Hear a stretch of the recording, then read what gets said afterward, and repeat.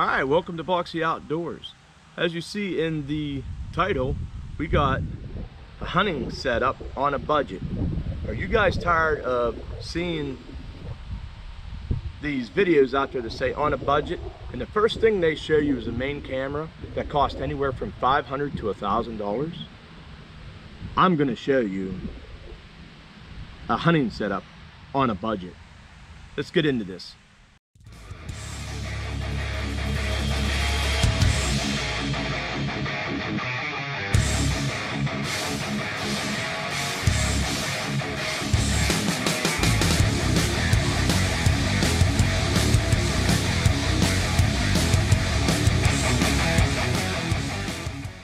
I got the camera arm out. Let's start with the camera arm first. Okay, so this is the Muddy uh, camera arm. It is the Hunt Hard camera arm. Got this on Amazon. Guys, $51. Okay, now this is a friction head, 24 inch length. Remember, I don't need anything longer than that. I am in a saddle, so camera's gonna be right in front of me and I can go around the tree anywhere I want. So keep that in mind. If you're a tree stand, uh, you might want to go with a different uh, camera arm. However, guys, uh, there's the Hawk um, camera arm out there as well. Right around, I think, 60 some dollars. It actually has, I guess, a fluid head. Uh, the whole thing of this uh, video, guys, is to get a hunting setup as cheap as possible with quality equipment that you can actually film and bring these to YouTube and share your passion. So I took it out of there, very simple. It comes, it's got a bolt that comes up here. It's got a uh, hex head on it. Comes up through, you spin this little knob onto here, you put your extension on, and then uh, you put your uh, fluid head on, or well, your, your head on there. This is a friction head, uh, like I said. Um, so um, it will move. Um, so there you have it.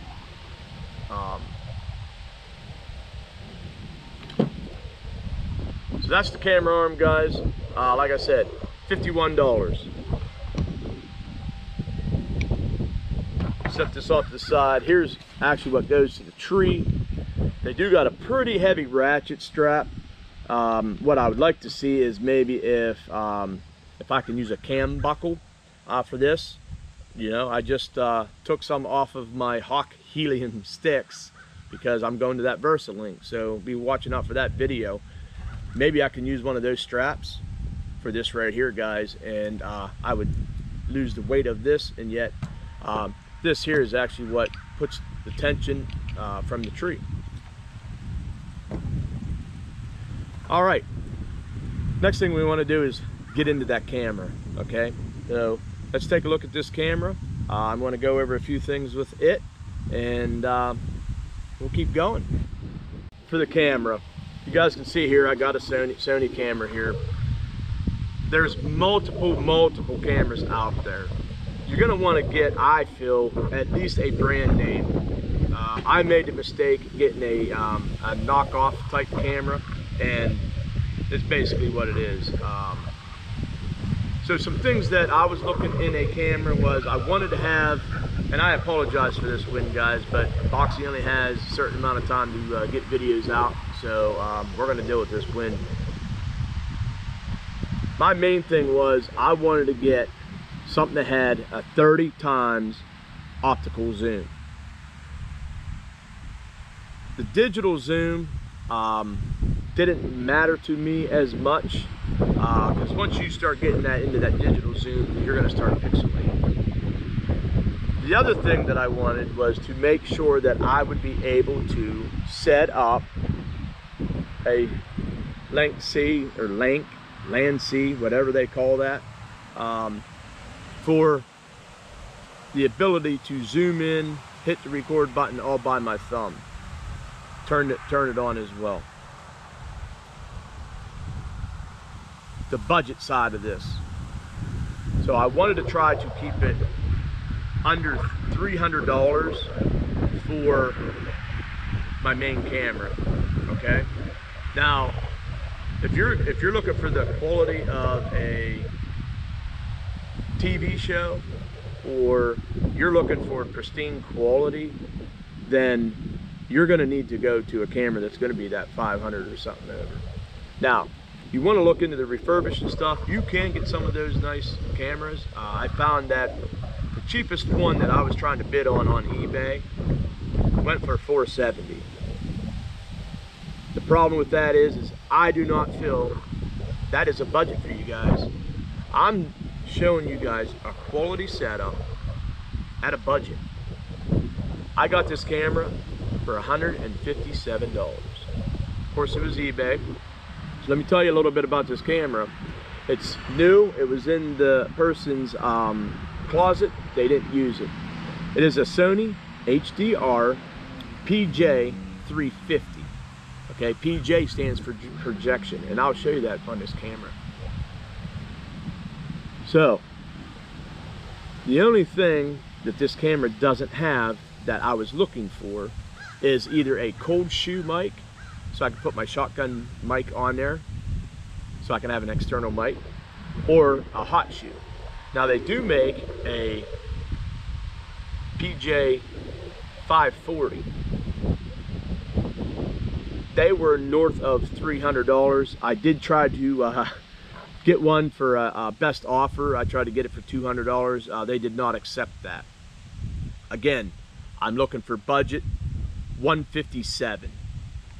So $51 for my camera arm, 157 for my camera. So we're at what? $208 right now, guys. $208. I want you guys to think about that. So let me show you this. Um, I got a very, I think I got a very good deal, guys. Um, this camera, um, couple things. It does come with, it came with all the cables. So um, here is the charging cable, okay? Um, this is the HDMI cable. This is uh, to help the projection and stuff. I want you guys to see that. This is factory wrapped yet. This was never used again, off of eBay a lot of times you don't get the owner's manual.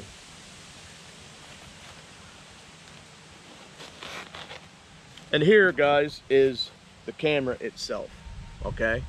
Still got the stickers on it, all right? So, not sure if you're gonna be able to see that. It does have a 30X zoom. It doesn't have a cold shoe or a um, hot shoe. The other thing is this multi-port that it has. That's what I'm gonna set my remote up to. And we'll get in we'll get into that remote here in a minute. I'll talk about that a little bit.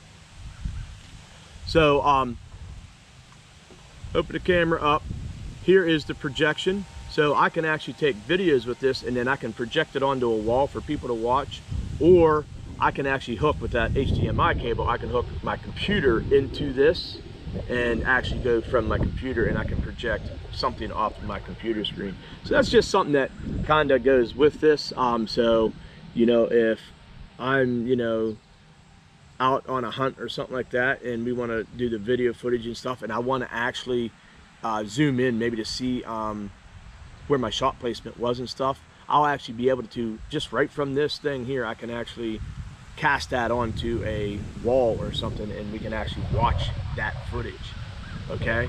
Um, so it does come with uh, a battery here. It's about an hour and 45 minute run time um, I will try to purchase some extended life batteries. I'm finding them uh, aftermarket uh, anywhere from 25 probably to 50 dollars. So um, we can probably add that in if you would like. Um, so we're at 257 uh, once once I get that. Um, it does have on the side here, it has um, SD card up to 64, um, I think it's gigabytes, and then um, there is the HDMI in and the projection out. Um, so guys, um, I'm gonna do a test on, on this. you're gonna see me use this camera. the zoom on it already, I know I can zoom almost 500 feet. So I don't know what that is in yardage, but um, I can zoom right into something in my neighbor's yard two roads over that I cannot see from my naked eye. So I know my zoom feature is going to be great. I am going to be able to hook up a remote to it. The only thing is everything's going to be internal audio, okay? So I got to check that out. But personally, guys, half the time when you watch a video of a guy out there hunting, yeah, you're going to hear the tweet birds and all that stuff. So that's going to be nice. That's going to be nice to hear. I might be able to pick that up on my secondary cameras. I am going to be running a GoPro and I will be running a secondary camera as well. Other than that, people usually cover it up with music. You hear music watching the video as something's coming in, you know? So, um, what's nice about this, so it charges right here. So if I buy the external batteries, it'll probably come with a charger. So I'll be able to charge that there. But uh, these cameras actually come with this charger here and you just plug this into it and then this plugs into a wall. So uh, pretty neat uh, uh, what Sony does with those handy cams. So um, let's get into this remote. Okay, guys? So here it is, guys, uh, out of the package. What I want to let you know is what I purchased here was the Sony actual remote commander. It's called an RM-VP-R1. Uh, what I had to do was make sure that I had the multi-port, okay? It can't be the 35 millimeter port. It has to be the multi-port. So guys, what I can do is over on this camera, you want to make sure that the camera is turned off. I open up my multi-port.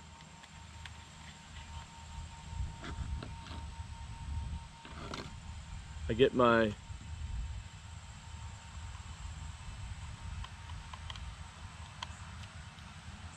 I put that in.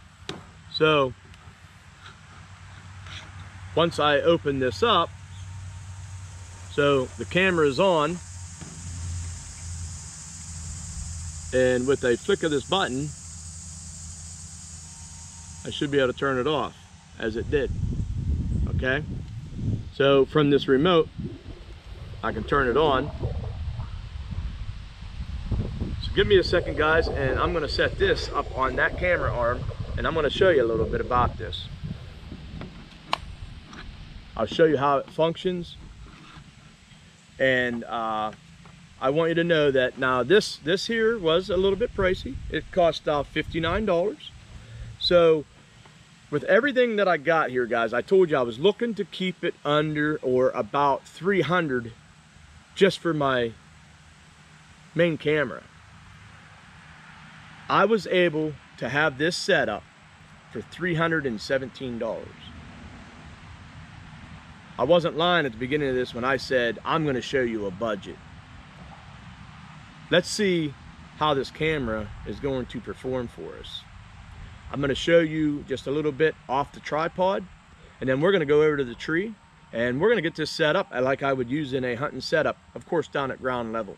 So hopefully we'll get some birds around in the area that I can zoom in on and uh, make it kind of look like a, um, a, hunting video, I guess. So, um, all right guys, let me change this out and uh, get this camera up on the uh, tripod. And I'm gonna show you a little bit about the, the, the, view, uh, the zoom features of it and um, the quality. So we will hear audio from it. And then of course we will see the actual um, video quality too.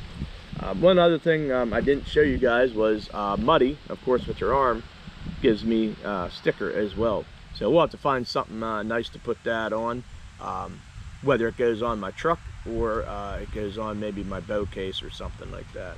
So let's check out this camera. So we have the camera guys up here on the tripod. As you see, I'm just pointing to the back of my property. Um, there's actually a road back there. You can see uh, the telephone pole and then on the following there's another road back there. So I do know that these lots are 205 feet deep. So just from my back property to the back property of that house at the second road would be 400 feet. So this item that I'm going to zoom in is in their front yard which is another 200 feet. So 600 feet, I'm not gonna do the calculation. You can figure out how many yards that is.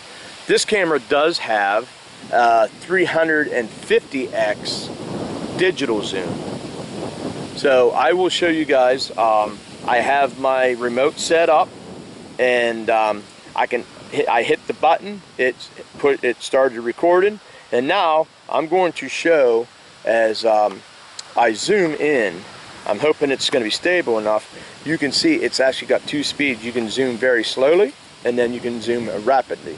So I will uh, try to uh, zoom with both speeds. Hopefully uh, standing behind the video you can hear my voice and then I will come out in front of it and speak and see how the internal mic does for me. So here we go. Um, you can see that I am zooming in.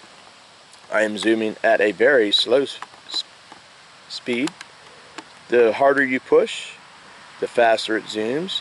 So let's give it some more zoom.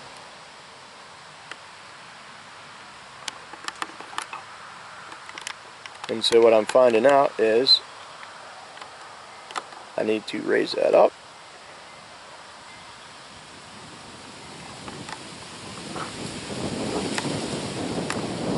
trying to zoom in on this item that I got here.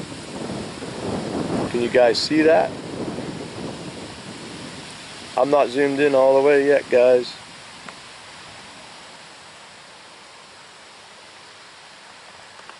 So there you have it. I'm zoomed all the way in, of course. Um, it's a butterfly, guys. So let me zoom out and hold this here and just show you how far that zoomed in as we zoom out.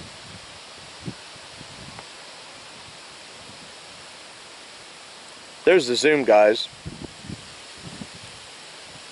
So it looks like pretty good audio or uh, video quality until I get right in the last half of it. Um, and you can see it's a lot harder for me to hold. Um, there's all the way zoomed in. So when I get it out, even right there guys, I got good uh, video quality.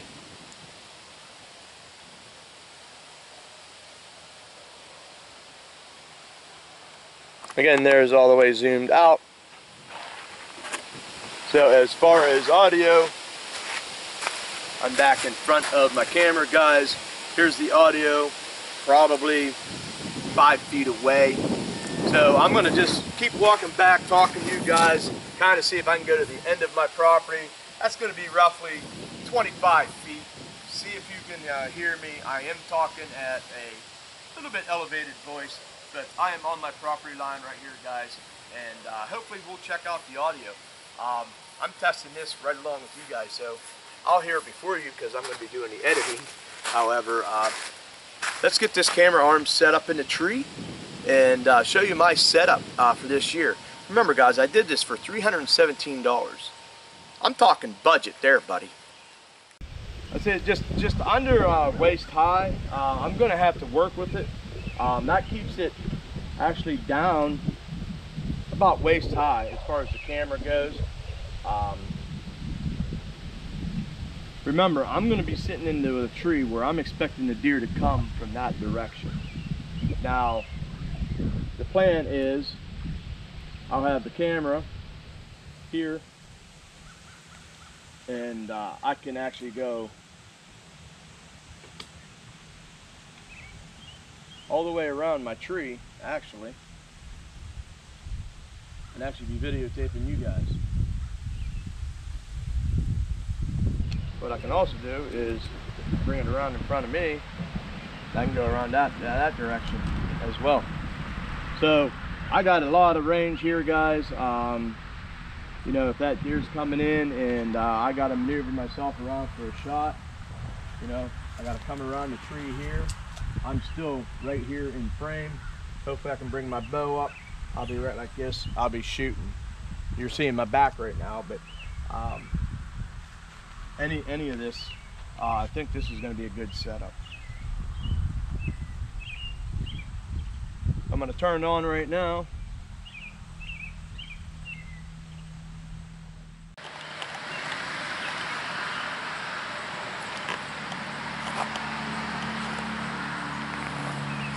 Deer comes in behind me.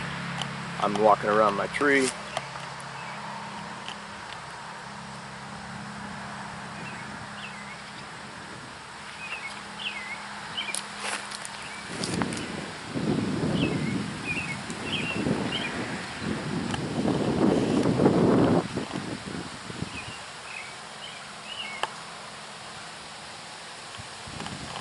There it is guys. There's the setup. Remember $317 and that is if I pay $50 for some extended life batteries I want to get two with the charger.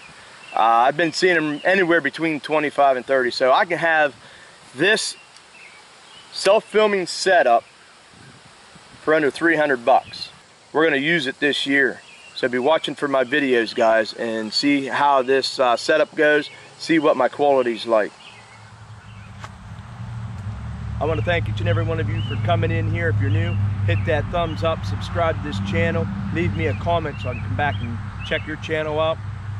For my faithful supporters, I want to thank you for everything that you do for me and my channel. Again, guys, have a blessed day. Keep sharing your passion.